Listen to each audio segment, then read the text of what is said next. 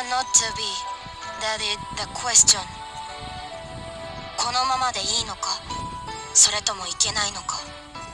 それが今の私にとって最大の難問である。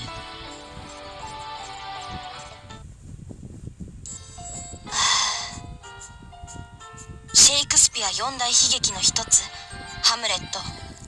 正式な題名はデンマークの王子ハムレットの悲劇。王侯貴族たちが集うきらびやかな宮廷とその背後でうごめく醜い嫉妬陰謀復讐。何度読み返しても新しい感動があるわね。いつか私もこんなキラキラした舞台にうん決めた。今日はきらびやかな戯曲を読み込んでモチベーションアップよ。きらびやかな戯曲といえばシェイクスピアももちろんいいけどやっぱりやっぱりオペラ座の怪人よね。パリのオペラ座美しき歌姫。豪華絢爛な舞台の世界で繰り広げられる愛憎劇。その目もくらむような美しい物語に小さい頃の私は魅了された。あのきらめきを私の中に吸い込んで近づくのよ。スターに。ない。ないわ。オペラ座の怪人の戯曲どころか小説から解説本までごっそり借りられてるわ。誰かが研究してるのかしら。町の図書館に行った方がいいかもしれないわね。あら？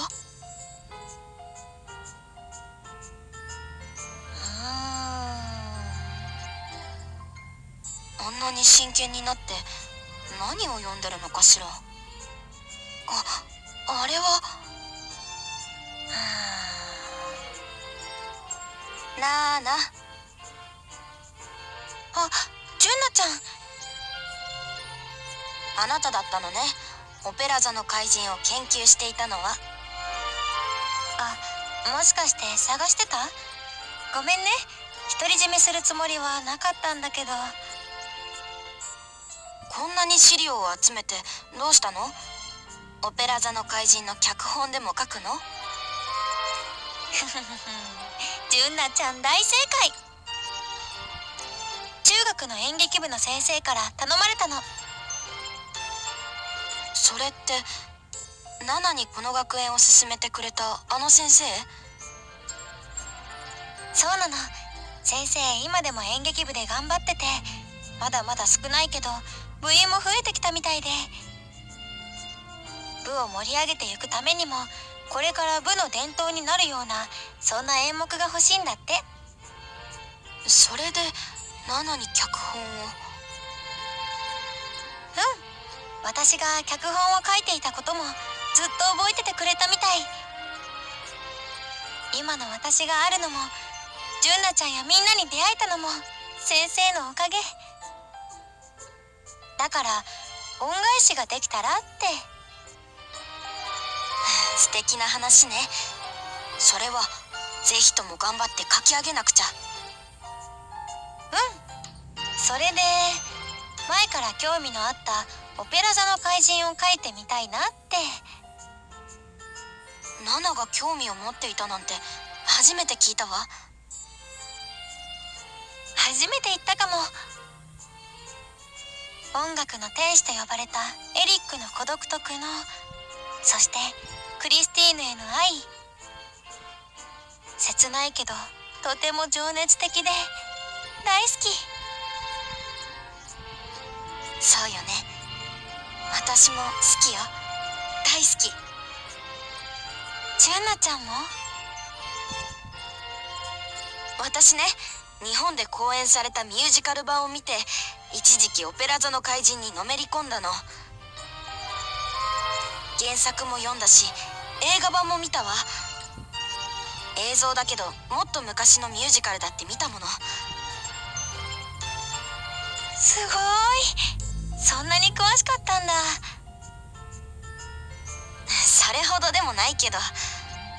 でも何かナナを手伝えることがあったら何でも言ってね。純奈ちゃんありがとう。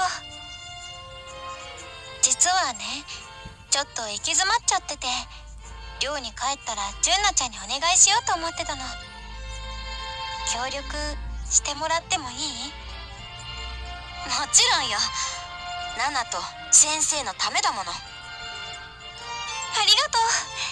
純奈ちゃんが協力してくれるなら100人力です。そうと決まったら私も改めて原作や戯曲を読み返さないとね。私もミュージカル版を見て改めて感動したの。あんな豪華絢爛な舞台他にはなかなかないんじゃないかな。でしょ？ミュージカル界にとっての不朽の名作よ。うっと図書館で大きな声を出すのはご法度ね。それでどんな脚本にするつもり？中学生が演じるから豪華絢爛ってわけにもいかないわよね。そうなの。中学生にも演じられて見ている方も共感できる。そんな脚本にしてほしいって。なるほど。難しいけどやりがいがあるわね。うん。今一番悩んでいるのは主役の怪人ファントムをどう描こうかってことなの。確かにファントムをどう捉えるかで書き方が変わってくるものねオペラ座の怪人は何度も違う演出家の手で舞台化されてきたけどファントムの描き方については少しずつ違っていたような気がする。原作の小説はファントムが謎の怪人として描かれてたり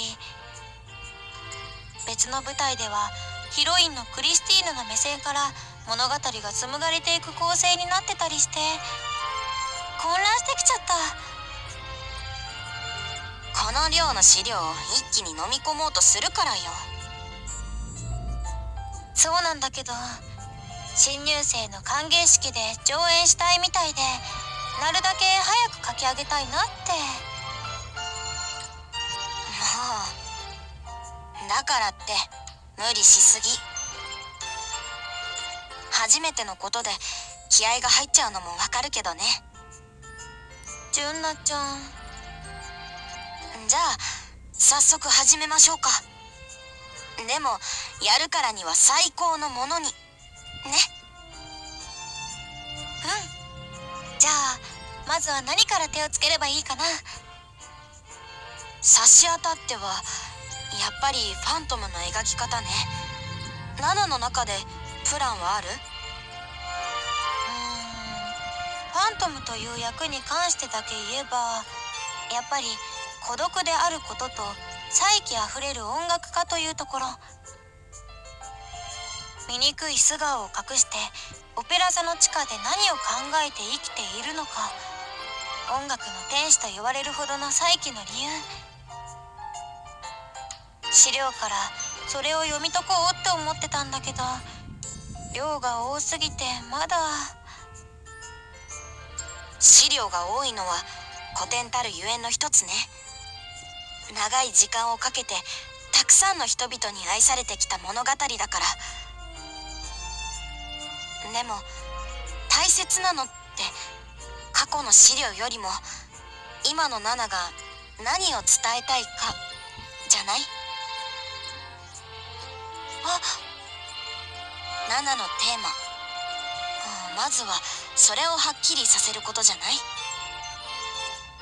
私のテーマ。うん。そうだね。純奈ちゃんの言う通り。先生やみんなのためにオペラ座の怪人に込めて私が伝えたいこと。うん。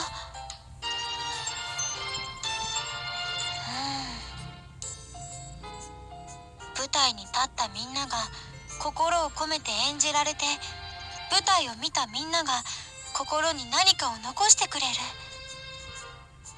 そんな脚本が書けたらいいな。それが私のテーマ。かも。うん。最高に素敵で大切なテーマだと思うわ。バナナイスよ。純奈ちゃん。お手伝いする私も責任重大ね。頑張りましょうナナ。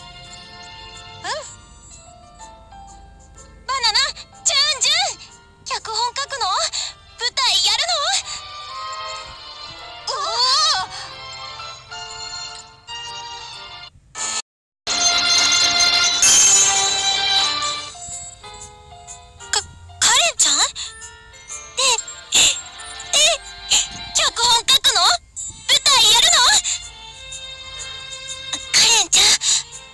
では静かにしないと。あそうだった。なさい。カレンがここに来るなんて珍しいわね。梅雨崎さんの付き添い？むむ私だって図書館に来ることぐらいあります。今日はまひるちゃんが本を返しに来るのについてきただけだけど。だと思った。それより脚本って何なの？何なの？とその話私たちが詳しく聞いてもいいのかな？内緒の話とかじゃ。大丈夫よまひるちゃん。初めからちゃんと説明するね。えー、そういうことだったんだ。すごいよバナナちゃん。その先生はきっとバナナちゃんの脚本が大好きなんだね。そうだといいな。まだまだ全然未熟なんだけどね。オペラ座の怪人か。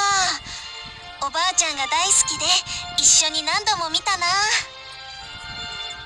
初めは怪人に感情移入しすぎてクリスティーヌが怪人の告白を断る気持ちも恋人を選ぶ気持ちもわからなくて。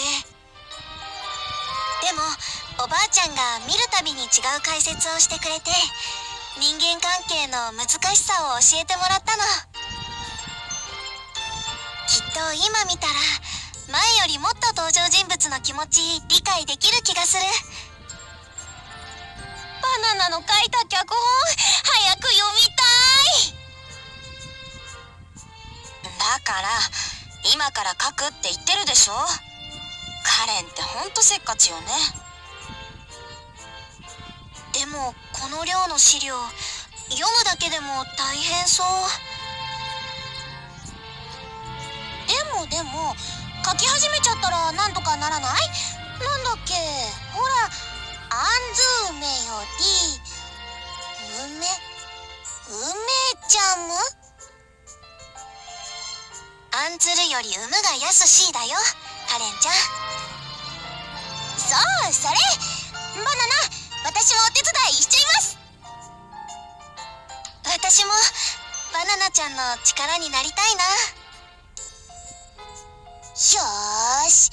みんなでバナナの脚本作りに協力しよう。ちょっとカレン勝手に話を進めないで。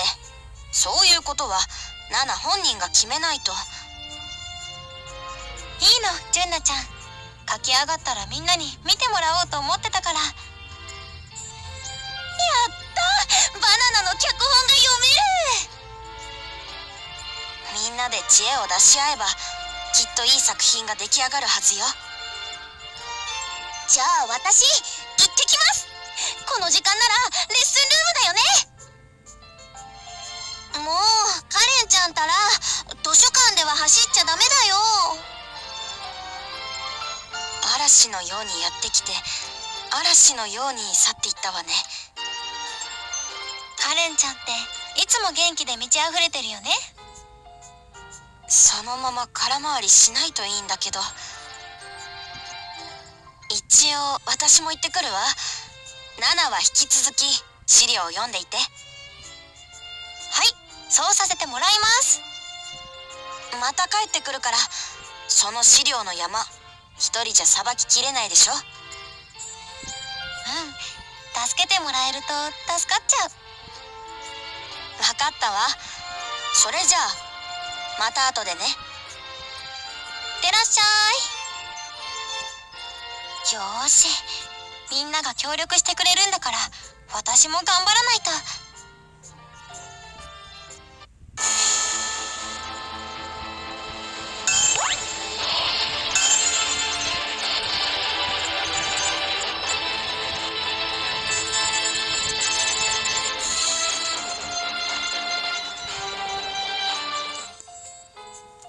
まやちゃんクロちゃん今日は集まってくれてありがとうございます今配ったのが私の書いた「オペラ座の怪人」の脚本第1項になります中学生が演じることキャストの数場面転換など私なりにアレンジして書いてみたんだけど最後の結末だけがまだ書けてなくて。そこに至るアイディアを私たちが一緒に考えて決定校に持っていくってことでいいのね。はい。ご協力よろしくお願いします。こちらこそ貴重な機会をいただきありがとうございます。恩師のための舞台脚本。そのような真心のこもった本作りに携われるのは光栄です。ナナのルファントム・ドゥ・ロペハ第1項って言うけどかなりの完成度じゃない？でも言いたいこともたくさんあるから覚悟して。うんいっぱい指摘してね。お待たせ。オペラ座の衣装あったよ。卒業生が作ったんだって。先輩たちもオペラ座の怪人をやってたんだ。よく知ってたね純奈ちゃん。このくらい調べればすぐにわかることよ。じゃあ早速始めましょうか。お芝居お芝居楽しみ。カレンちゃんこれバナナちゃんの脚本のためなんだからね。わかってるって。も脚本を最後まで書くために一度演じてみるとか初めてなんかワクワクする。うん。みんなに演じてもらったら登場人物たちが動いてくれるかなってごめんね。手伝ってもらっちゃって。いいよいいよ。バナナイス。あくまで脚本作りがメインなんだからね。カレンは勝手なアドリブとか入れちゃダメよ。分かってるよジュンジュン。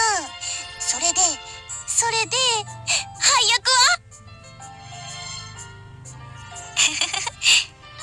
カレンちゃんにはクリスティーヌの恋人ラウル役をお願いします。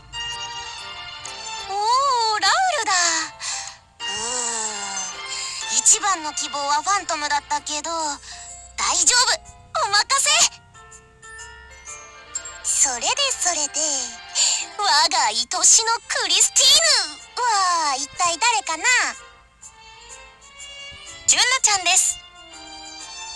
え私？うんぴったりでしょ？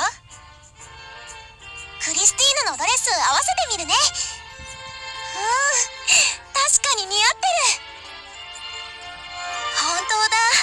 純奈ちゃん普段から姿勢がいいから声の通りそうな歌姫って感じがよく出てるよ。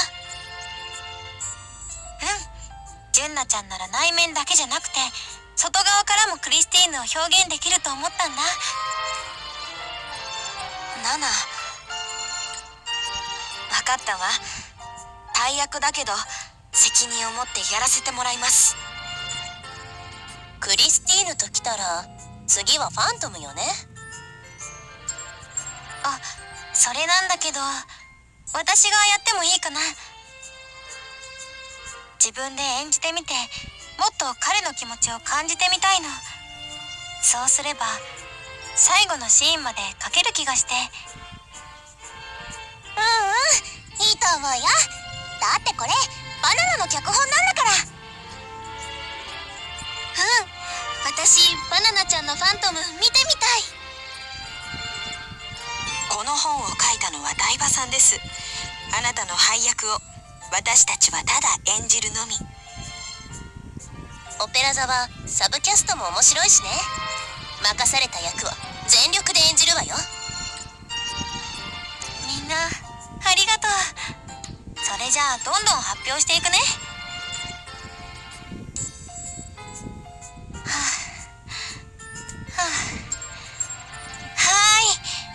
分間休憩します。ふうやっぱりセリフ難しい。歌のシーンも多いからクタクタになるね。お疲れ様カレンちゃん。みんなの分もスポーツドリンク作ってきたから飲んでね。わーい喉カラカラだから助かる。西条さん私たちが出会うシーン。もう一度合わせてみてもよろしいですか？る天童マヤのお誘いなら断れないわね。やりましょう。ナナお疲れ様。ファントムいい感じだったんじゃない？ジュンナちゃんもねクリスティーヌの苦悩がすっごく伝わってきた。ありがとう。でも立ち稽古の時にはもう少し人物を掘り下げたいわね。あもう衣装の準備する？ジュンナちゃんクリスティーヌのドレス用意しておいたから。ありがとう千崎さん。ドレスなんて久しぶり。衣装に着られないようにしないと。バナナのファントムの衣装も持ってきたよそれでねバナナに一つお願いがあるんだけど。カレンちゃん着てみたくなっちゃったんでしょ。ファントムの衣装。えなんでわかったの？全部わかってるわ。私はね。ささすがバナナ。あんな物欲しそうな目をしてたら誰にだってわかるわよ。私もカレンちゃんのファントム見てみたいな。うんうん。じゃあカレンちゃんちょっと着てみて。わーい。ちょっと待ってね。えっとマントを羽織って仮面をこうかな。じゃーん。オペラ座の地下に救うファントム参上。カレンちゃんかっこいい。こんな陽気なファントムがいたらオペラ座の人たちに笑われちゃうわね。むむこの演技を見てもそう言えるかな。私はオペラ座の怪人。この世で最も醜き生き物。地獄の炎にこの身を燃やされながらそれでも天国を夢見ている。んかっこいい感じ。でもせっかくカレンちゃんが演じるわけだし違う解釈のファントムというわけでもっと陽気に言ってみましょう。よ陽気なファントム？ええー、っとはあ？はは。クリスティーヌ今日もいい天気だな。もっもオペラ座の地下に陽光は届かないのだが。じゃあ次はセリフの中にバナナを入れて演じてみて。ばバナナ？えー、っとえー、っとくクリスティーヌ今夜は君の歌が聴ける日だったな。君の歌声が滑ることはない。なぜなら舞台上に落ちていたバナナの皮は私が拾ってゴミ箱に捨てておいたからな。存分に歌うがいい。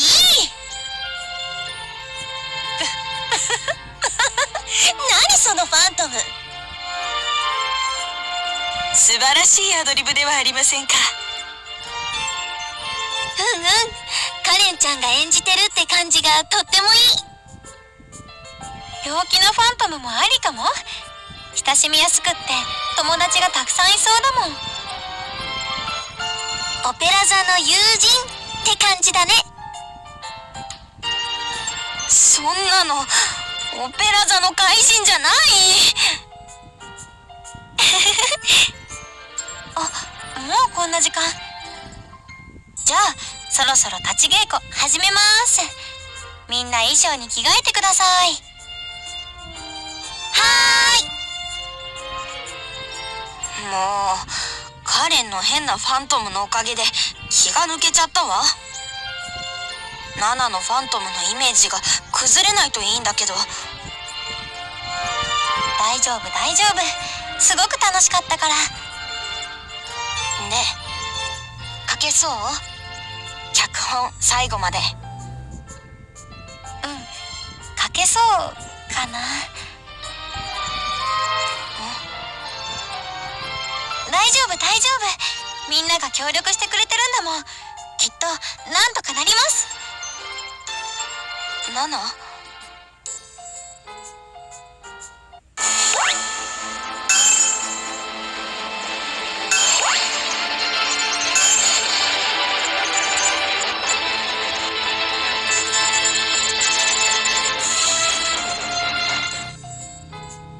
みんなお疲れ様。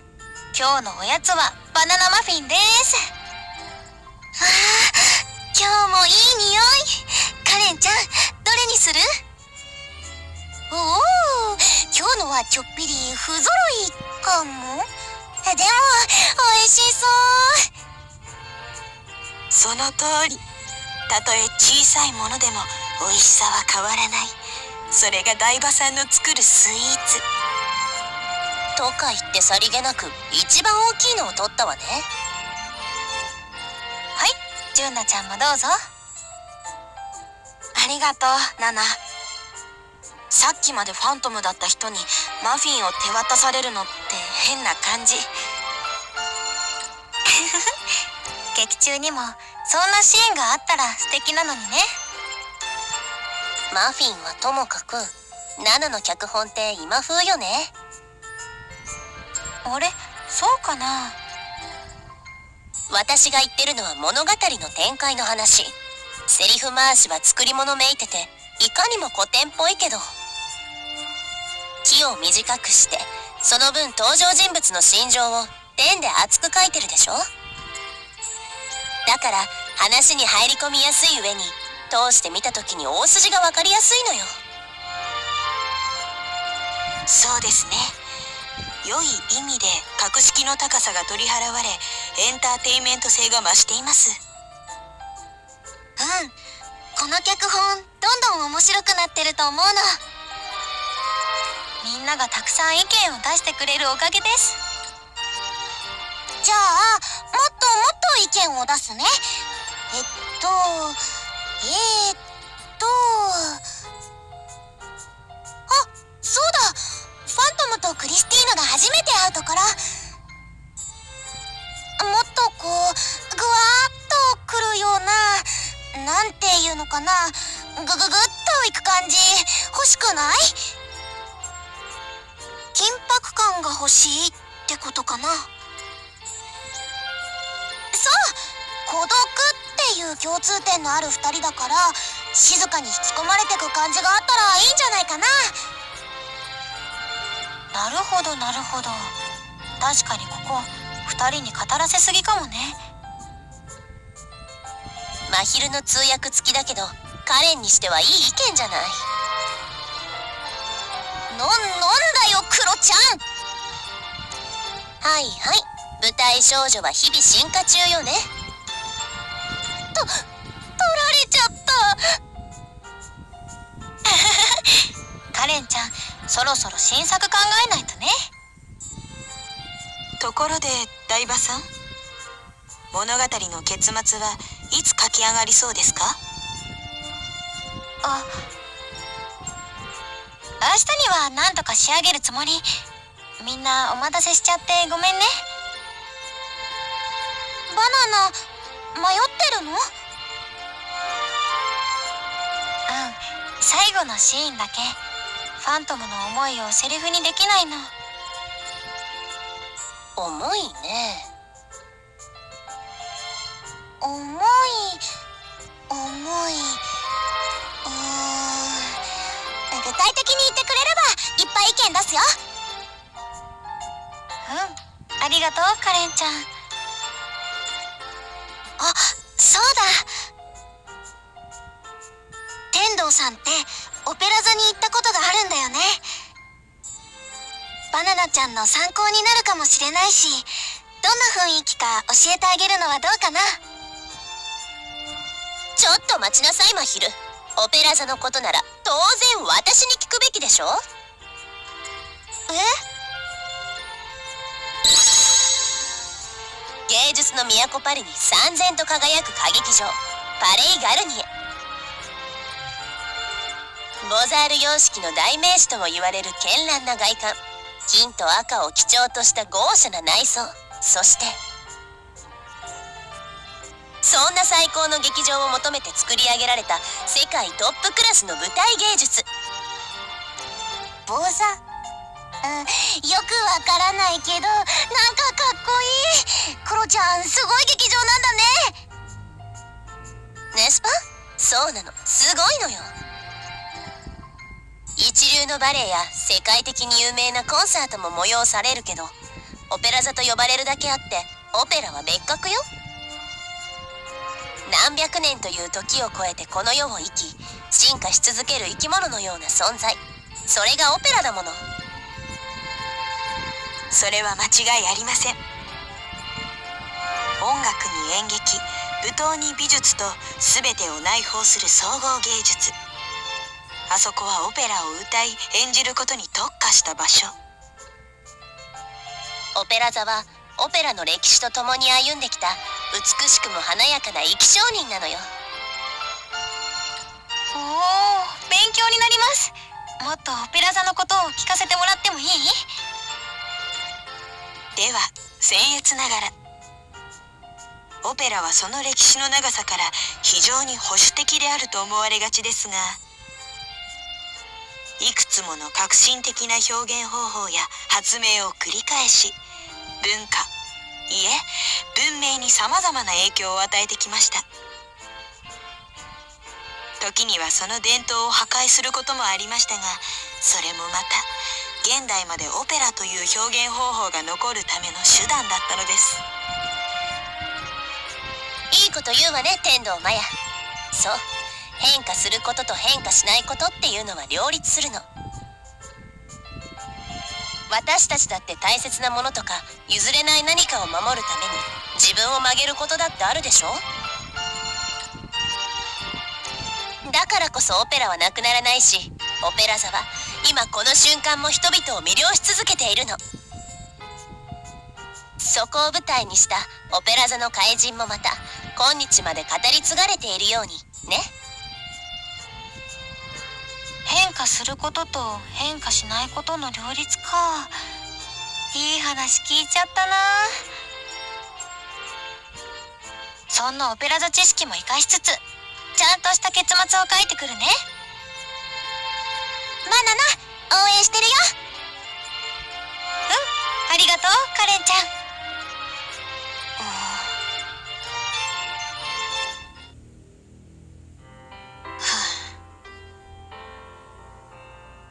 ナナ結末が思いつかないみたいだけど大丈夫かしら？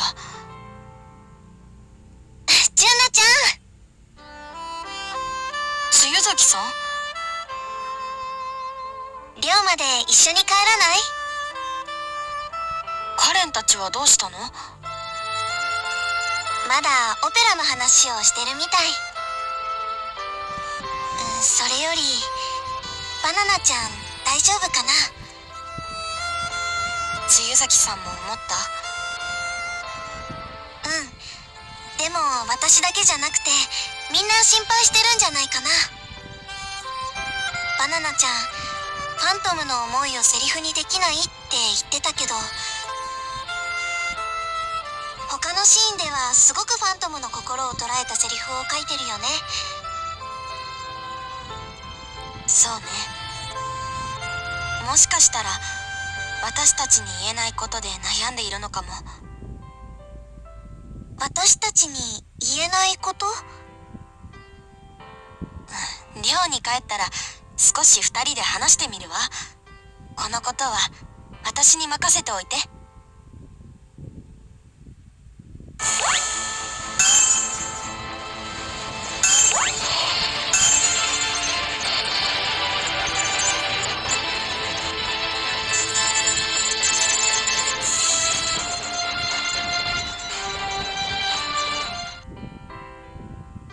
でも一緒にはいられない。うーん。ちょっと普通すぎるセリフかな。ナナコーヒー入れたけど飲む？あ飲む。暑いから舌をやけどしないようにね。うん。ふうふうしてから飲みます。子供じゃないんだから。純奈ちゃんありがとね。何が？いろいろと。あ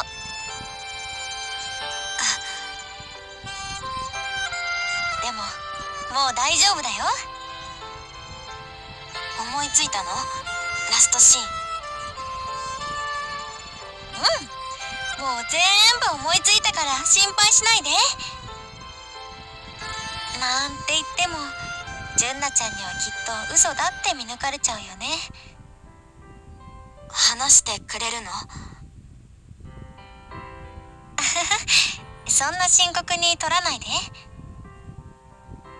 自分で何とかできるかなって思ったんだけどやっぱり純奈ちゃんの力が必要みたい。だから相談してもいい？もちろんよ。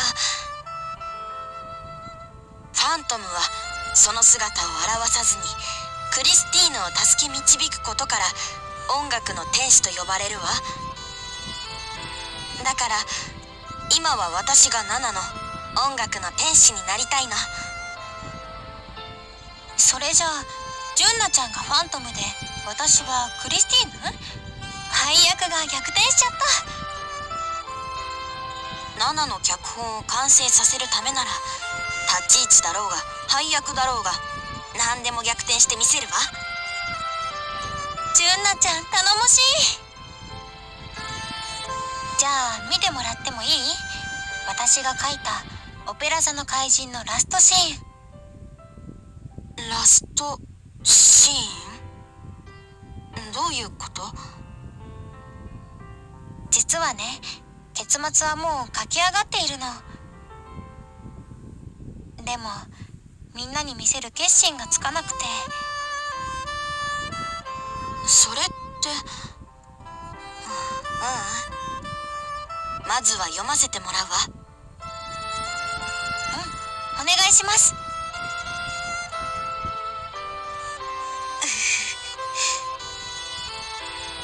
これすごくいいじゃない。この描き方ならファントムとクリスティーヌが結ばれても違和感がないわ。え純奈ちゃん泣いてるの？こんな結末を見せられたら誰だって。よくここまで怪人の孤独と舞台愛を表現できたわね。ありがとう。私も書いてる時は泣いちゃってたもん。でもうん。私ファントムに共感しすぎちゃったみたい。ファントムの気持ち私はよくわかる。ずっと一人だったしだから舞台に憧れた。怪人なんて呼ばれて孤独を恨む彼にはどうしてもクリスティーヌと結ばれてほしかった。彼が一番求めるものを手に入れる。そんな結末を誰にも文句を言わせない形で描こうって思ったの。できてるじゃない。うん。でもね先生のために書く脚本にしては私物化しすぎてるかなって。難しいところね。確かにハッピーエンドにするのはすごい大変だもの。でしょ？でも私にとってはこれが理想の結末だから他のが思いつかなくなっちゃって。ねえナナ。今日天童さんと西条さんが話してたこと覚えてる？うん？オペラ座の歴史の話だよね。おかげで登場人物のセリフがリアルになったよ。それもいいけど私が言ってるのはいいこと言うわね天童マヤそう。変化することと変化しないことっていうのは両立するの。私たちだって大切なものとか譲れない何かを守るために自分を曲げることだってあるでしょ？うん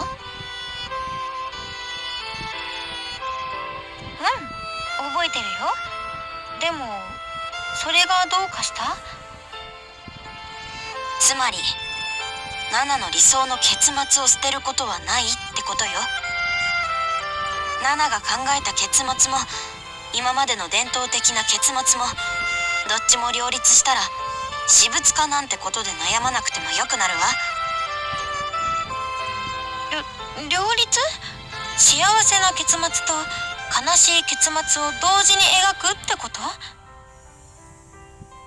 難しいと思うけれど2人で考えればきっと答えが出るはず。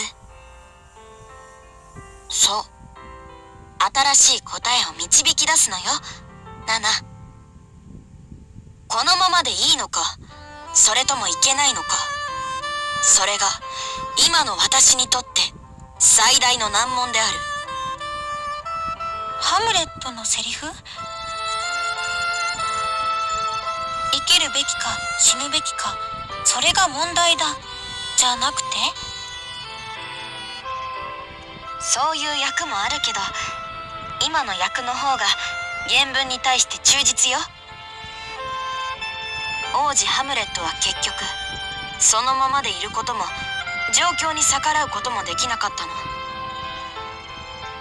でも私たちはその両方をオペラ座の怪人に手に入れさせるの。そんな答えを絶対に見つけ出すわよ。ううん。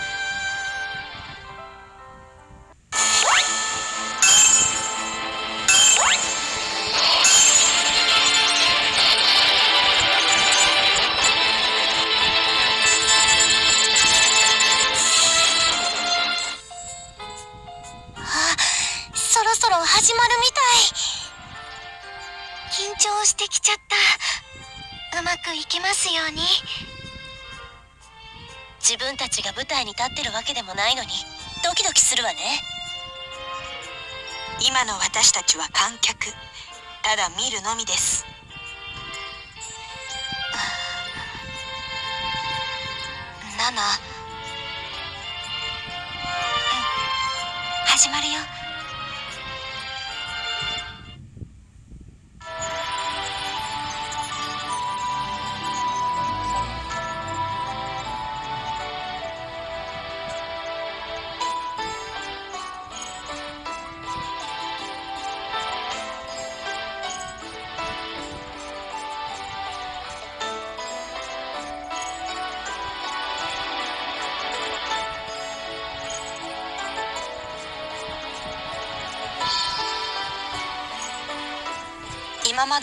でのオペラ座の怪人はここでファントムを憐れんだクリスティーヌが彼にキスをする。キスをされたファントムは生まれて初めて愛に触れ人を愛することを知る。そして愛に目覚めたことでクリスティーヌとその恋人を解放する。けどこの脚本ではクリスティーヌはファントムにキスをしない。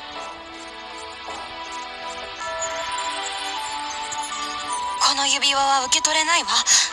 私はあなたと共にいることができないのだから。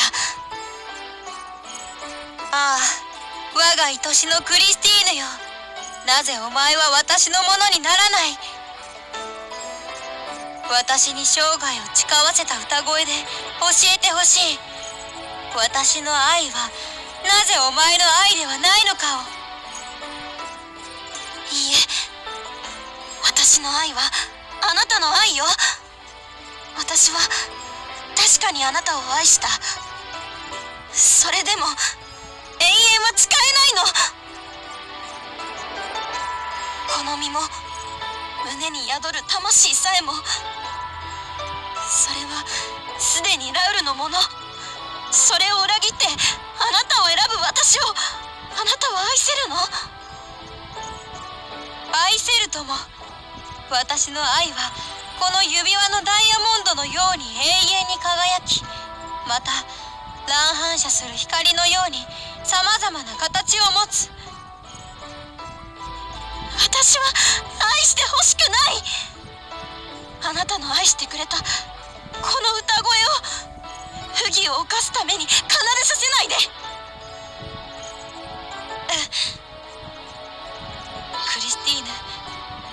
そうかお前が変わらぬ愛を貫くならこの指輪のダイヤモンドのようにその思いが永遠ならきっとお前はこの世で最も美しく気高い存在となるのだろう。私はお前を手に入れることに躍起になるあまり最も大切なことを忘れていた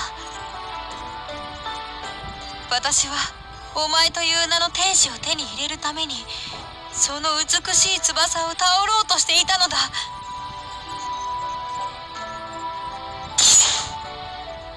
仮面が。ありがとうクリスティーヌ。この指輪を返してくれて。指輪は永遠に輝く。私の中にあるお前の化身として。ファントム。あなたは？じきにお前の婚約者がここへ来るだろう。真実の愛という名のお前を迎えに来るだろう。そのぬくもりに連れ去られるがいい。クリスティーヌ。待って。あなたはどこへ行くの？この仮面を外して。どこへ行けるというの？さらばだ。どうかこの指輪のように永遠に輝いていてくれることを願って。はあそんな。あなたが永遠に変わらない輝きを持って消えるというのなら私は美しいあなたを常に覆い隠していたこの仮面をこの醜い仮面を持ってあなたをずっとずっと覚えていましょう。あなたの愛した歌声で私は歌い続けます。ずっと。ずっと。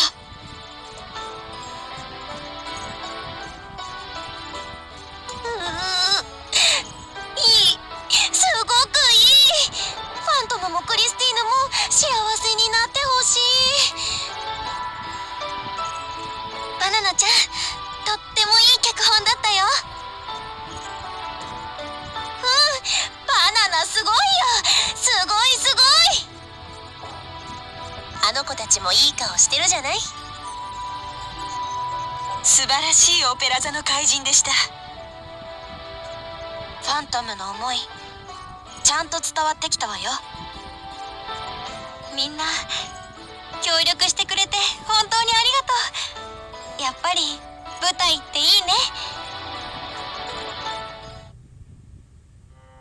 変化することとしないことの両立。言葉で言うのは簡単だけど脚本にするのは大変だったわね。